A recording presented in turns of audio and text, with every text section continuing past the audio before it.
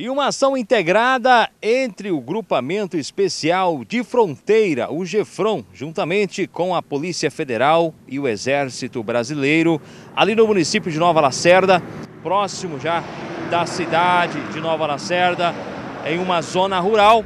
As equipes receberam informações de que em uma pista clandestina haveria uma aeronave enterrada. Diante da situação, as equipes se mobilizaram e fizeram uma varredura em todo o local. Porém, só encontraram duas pessoas suspeitas que foram indagadas sobre o avião e o mesmo disse não conhecer o fato. Enquanto estavam sendo procurado o avião, foi localizada uma abertura em meio à mata, em um local onde a terra havia sido mexida. Ao proceder à busca, foi localizado no interior do buraco 200 tabletes de substância análogo a cloridrato de cocaína.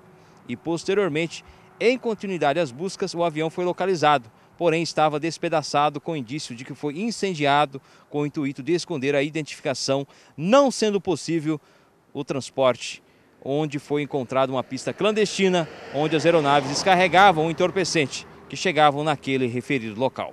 Após a localização dos ilícitos, foi dada a voz de prisão aos suspeitos e, diante da situação, os suspeitos e os materiais apreendidos foram conduzidos para a delegacia da Polícia Federal no município de Cáceres para as providências que o caso requer.